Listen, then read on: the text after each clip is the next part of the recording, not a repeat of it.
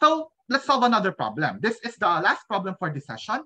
Two masses M1 and M2 are joined by a taut rope and arranged in the system shown at the right. The first mass is on a frictional ramp inclined at an angle theta with respect to the horizontal, while the second mass is freely hanging. Determine the acceleration of the masses and the tension in the string. So again, you have um, what you want to determine are two quantities. So the, the acceleration and pension. There are two quantities. Therefore, you need at least, you need two equations to get a unique solution. So yon. So una natin gagawin as usual is to draw a free body diagram. So we draw a free body diagram. Yung, so the free body diagram of the first object, or M1 I should say, is uh, ganito. So mag-drawing ako ng incline. Drawing muna ako ng incline ha. Incline. So what are the forces acting on M1? What are the forces acting on M1? What are the forces Tension. acting on you have tension and so the tension is in this direction here. Okay? The tension is parallel to the incline. So let's assume that they are parallel. Parallel yung dalawang yan. Okay? Parallel siya sa incline. Tapos, ano pa yung mga forces na nag-act? Ano pa yung mga forces na nag-act? Weight and normal uh, weight. We have weight here and the normal force here. Okay? Now, by the way, ingat lang sa notation kasi kailangan kung may dalawa kang objects, maglagay ka ng index kung anong bus yun. Kasi para hindi ka malito. Like for example, in this particular um, e, example, I will write this as T. Since same lang naman yung tensions niyan, we, we have the same assumptions as of the previous problem. Therefore, the tension and the acceleration of the two masses will still be the same. However, the normal force, N1, may not be the same as the normal force in M2. And of course, the weight of M1 is not the same as the weight of M2. Therefore, I have an M1 G here. I have an index 1 there. May subscript akong 1. okay, ingat dyan. Kasi yung ibang estudyante, yung ginagawa, uh, lagi lang sila ng MG, MG, MG. Kaninong MG yan? Kaninong normal force yan? Normal force ba yan ni 1 o normal force ni 2? Okay, yun yung, yun yung sinasabi ko. And of course, this is theta. Nakuha to, itong free body diagram ni first mass. Nakuha? Yes, sir. Yes. What about the second bus? Ano yung mga forces ang nag-act kay second bus? So, ano yung mga forces na nag-act kay second bus? So, tension. Similar to the previous problem, di ba? Na meron ka lang tension at saka ano pa? Wait. Wait. Wait. Just ganyan. Bakit tumabi nito? Sorry for that. Ala. Okay. I want to finish this discussion because I want to prove something. Okay. So yeah, I hope this is really worth it at the end. Sorry for that. Okay, so the other forces are, this is again tension, and this is M2G. Okay, now, let's um, set up the equations of motion. As I said, um, in this problem, assume, assume that M2 goes down, um, accelerates downward.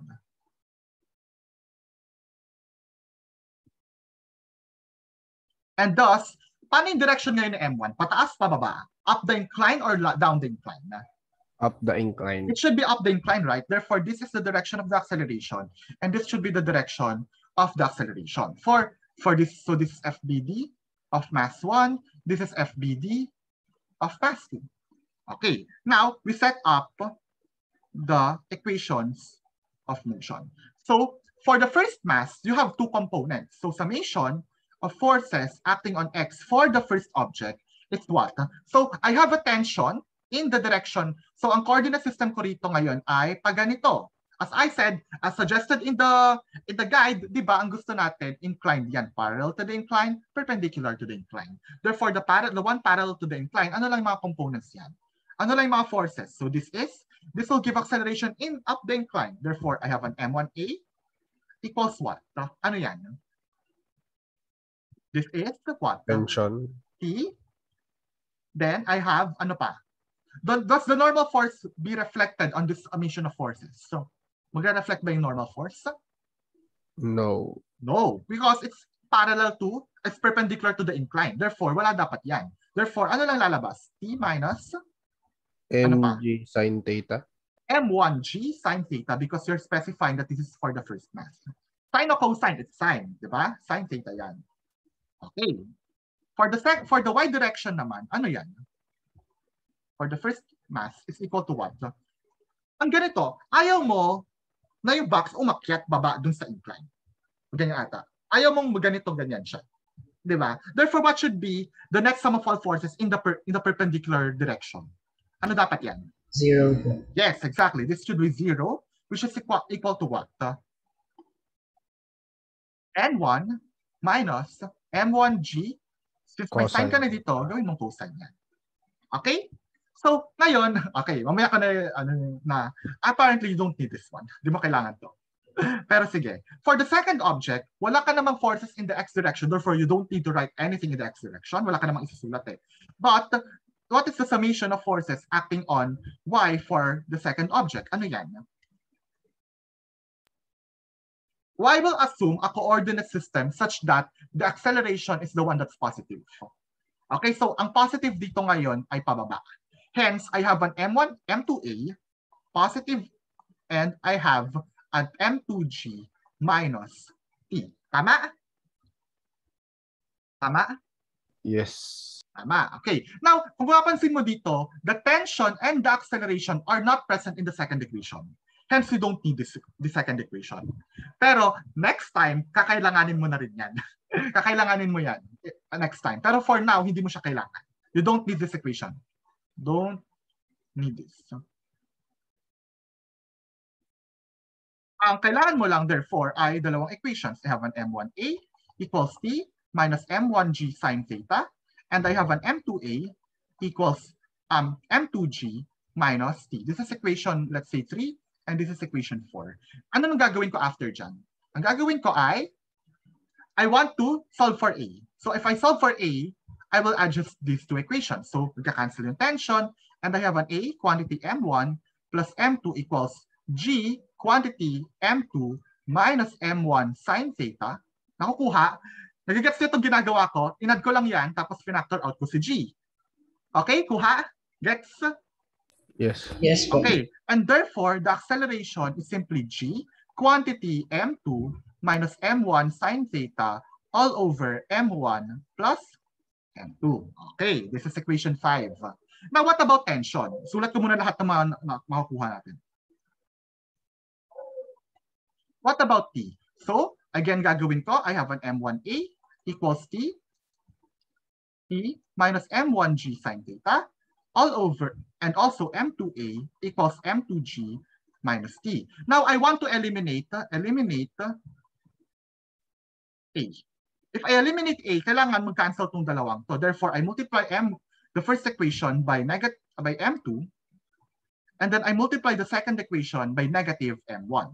And then when I do that, ang lalabas ay, ang lalabas ay magzi-zero yung kabila, and I have an M2T minus M1, M2G sine theta, minus, tapos, minus M1, M2G. Then I have a negative and I have a negative here. I have a positive M1T. Tama? Tama?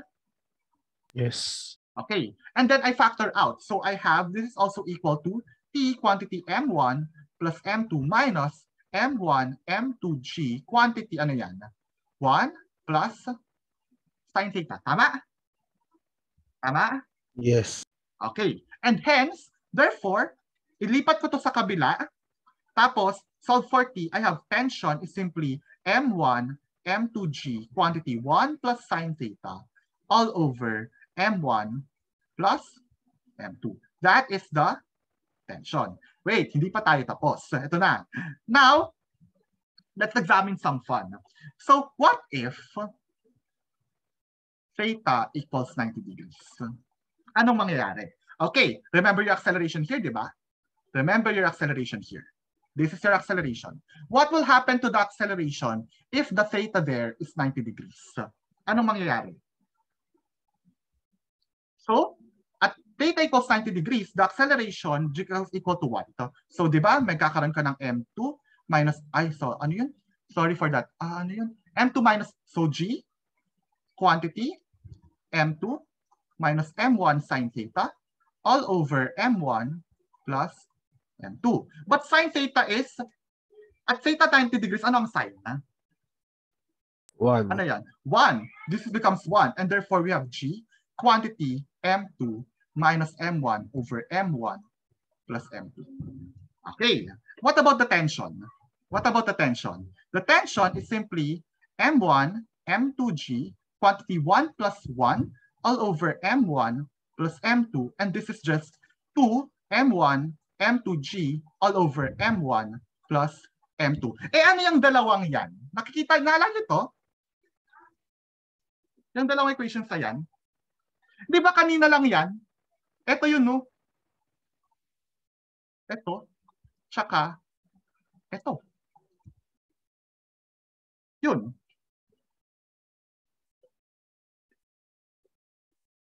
Therefore, o drawing mo ngayon, i-drawing mo tong angle na to such that ito ay 90. Anong lalabas dyan? If theta is 90, what will happen to that figure? Magiging vertical po lahat. Magiging vertical yung isa at magiging Atwood's machine lang yan.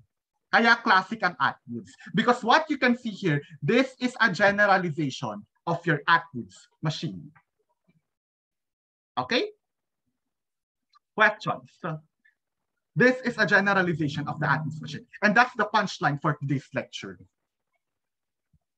And, and it's also valid for theta equals zero. Let's say, for example, uh, let's say, at what, what about theta equals zero? Anong itsura niya?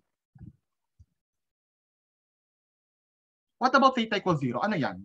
Ang itsura niya ngayon ay magiging plane na ganito, tapos may box ka dito, may pulley ka dito, may box ka dito. Ah, pangit ang box ko. Sorry for that.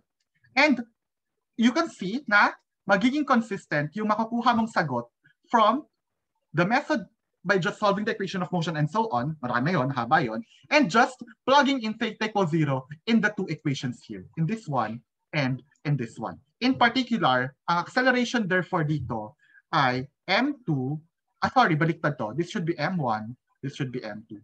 This is m2g all over m1 plus m2, and tension is simply m1, m2g all over m1 plus m2. Nakuha? Gets ba? So para kang nagkaroon, ang maganda pa rito sa example na to, para kang, basically, ang ginawa mo, para kang nag-trend-trend chuchu. Pero, ang, ang instead of tension, ang humihila sa M2 ay weight. Para yung trend-trend chuchu. Oh. Pero ang humihila dito ay sarili niyang weight.